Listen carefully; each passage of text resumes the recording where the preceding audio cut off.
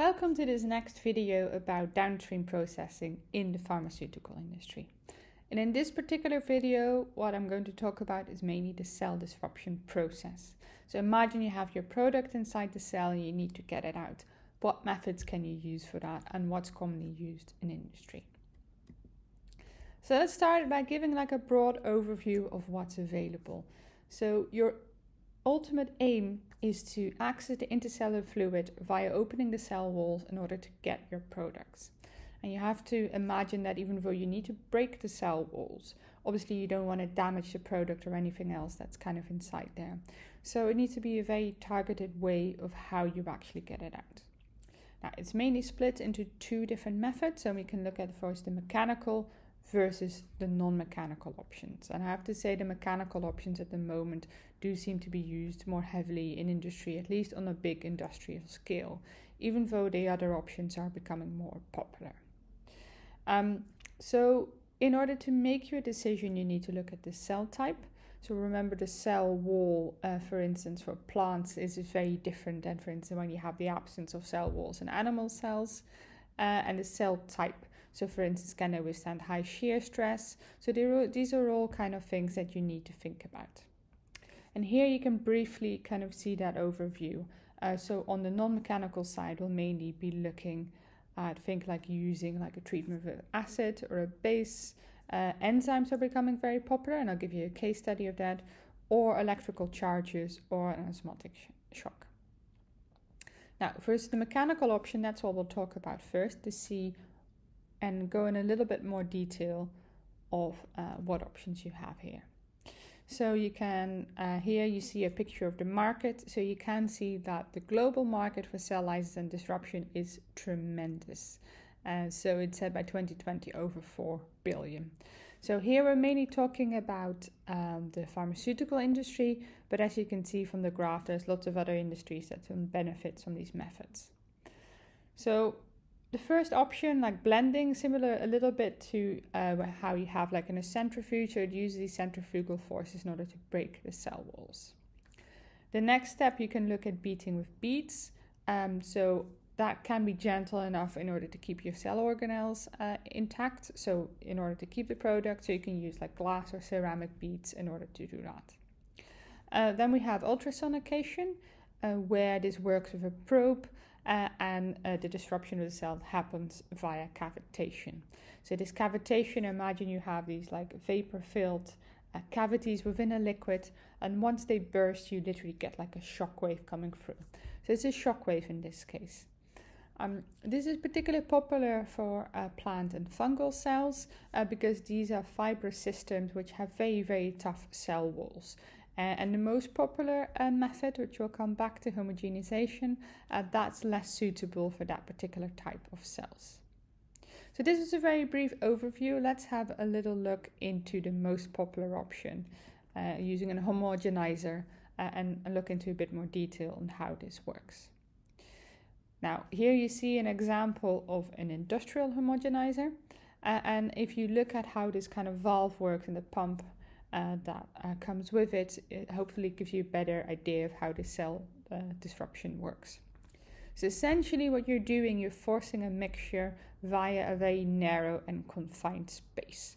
And by doing that, you're effectively breaking it.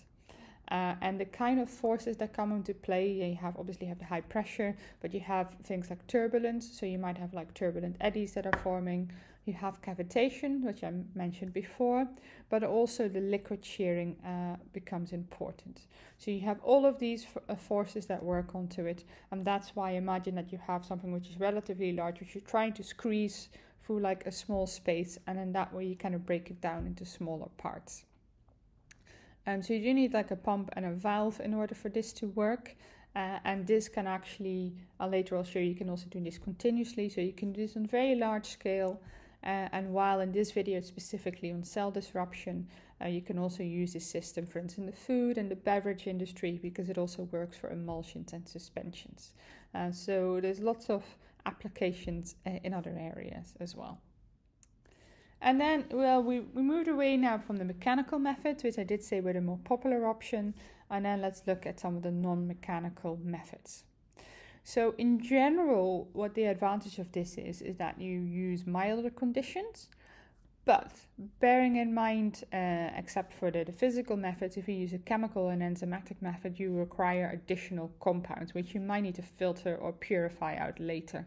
Uh, obviously, it comes with additional costs as well, but also the purification of these compounds can be a bit tricky. Now, the physical methods that you can work with, like freeze thaw, osmosis, you can have uh, uh, thermolysis or electric shocks. Um, the more popular methods are like the chemical methods, where you can use some organic solvents, or you can use charged uh, compounds like detergents. And here you can kind of see an example of how this works. Um, so, like EDTA uh, cations, and these ions are very important in keeping your cells stable. So what you will see, it destroys your cell membrane because because it draws away uh, some important cations that are crucial to the stability of the cell. And by doing that, you can slowly release the intracellular components that you're after. Now, enzymatic methods, uh, this will come back into one of the case studies that I will show you. Uh, we have a wide range of enzymes available for this respect. Uh, and this has some advantages, but you will also see this often tends to be quite like a costly option. So here, let's come back to example of case study uh, number one. And if you want to know more about it, you can go to the, the link below. Uh, and this was where they were looking at enzymatic cell disruption of microalgae. Um, now, these microalgae, uh, they can be used for many different things. Uh, so you can use them as a kind of host where they can produce uh, different proteins or different lipids. Uh, there's also talk about using them in, in for instance, biodiesel. So you will see that more and more, like there is becoming a bigger market for these microalgae. In this particular uh, paper, they were interested in aqueous enzymatic assisted extraction to retrieve the lipids. Um, because compared to like the mechanical methods, it's a, it's a very fast process. Uh, but it is selective. So some of the other options uh, where you're just mechanically kind of taking it out uh, are less selective. Another big advantage of microalgae is all about sustainability as well, is that you're working under relatively mild conditions. So relatively low temperature, relatively neutral pH range, uh, and is also a big advantage in most of the cases you don't need additional drying steps so energy wise it's also efficient. Uh, but you will see here like in the next slide there's a picture of it. They still needed to dissolve some of the lipids uh, in some solvents so you would still have to have some drying. In most of the cases, though, the costs are the limitations for this, and this is also addressed in this paper, and that's one of the current uh, drawbacks because you need it in relatively large quantities. Um, and also, obviously, you need to optimize it fully to the system. So, when you're working with the enzyme, you really need to screen for a range of enzymes. And in this case, they found autolysin, uh, which was very selective because it only targeted proline residues within the cell wall. Um, so, it would only work on the cell wall itself. But in order to kind of uh, work this out, you need to go through a whole library of enzymes and, and not just that, you need to optimize um, all the steps. So, the buffer that you're working on, the pH, the temperature. So, this can be a very time consuming process. Whereas when you do the mechanical option, it's a more general process, and you will see you don't have less optimization steps in there. But then let's have a look at what it actually looks like. So, here you can get like an idea of how the cell wall works. Uh, so, there is like a control sample on the left and whereas, and you can see that the cell is nicely intact there. Um, there's a couple of uh, components in there which, which are, are, labeled, but if you were treated with autolysin on the right, you could see that these cell walls kind of burst open. Um, so that was after two hours, so it's relatively fast. Uh, what you can see a little bit here is that some of the lipids were still sticking to the cells. Uh, so in this case, they really needed the solvent in order to dissolve them afterwards. Um, so that's why you will often, when you look at these cell lysis, and you will also see this in the next example, you will often see there's a combination of different methods in order to make sure that the process is more effective. But enzymatic uh, options will relatively become more popular uh, because after doing more research on it, we'll know more about the optimal conditions and more about certain enzymes that we can use. And as they will become more popular, hopefully they will also help to reduce the costs uh, because they do have a very big sustainability advantage. Now, in the second example, I mentioned before that these high pressure homogenizers are the ones that are used on a very large industrial scale. Uh, and a big advantage of those is that you can also do this continuously if you do the cell lysis in a single pass.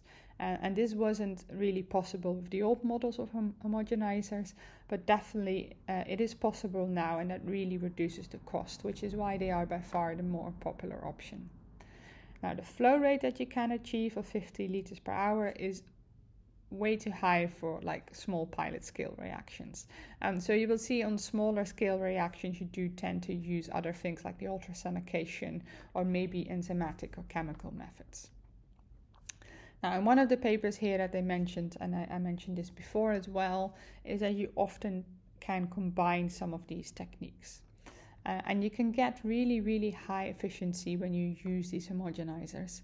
Um, so here they combined a kind of mechanical option with a detergent, so like a chemical option, and they reached over 97% efficiency. So very, very high efficiency in terms of disrupting your cells. Um, there are some things that you will need to consider here. Um, so you products that you're working with, you are imposing a high shear rate. Um, so it should be high enough in order to break the cell walls. What you don't want to do is damage the product in the process. So that's something that you really need to consider what you're working with. Um, I also mentioned before that if you're working with plant cells, that you often tend to use other systems. So if you have more like let's say tough fibrous cell walls of a plant, if you want to use this with like a homogenizer, you are often working with frozen systems where they become like a bit more flaky, uh, so they become a bit more brittle and easier to break. Um, however, particularly when you're working with animal cell walls, due to the absence of the, the cell walls that you have, uh, they are much easier. So you will see definitely there these high pressure homogenizers are the common standard. Now, this was a very short video, so let's uh, have like a brief uh, summary. So the cell disruption is really an essential process and downstream process. So you really need this in order to retrieve and extract your products in most of the cases, uh, because your products often produced within the cells and not outside of it.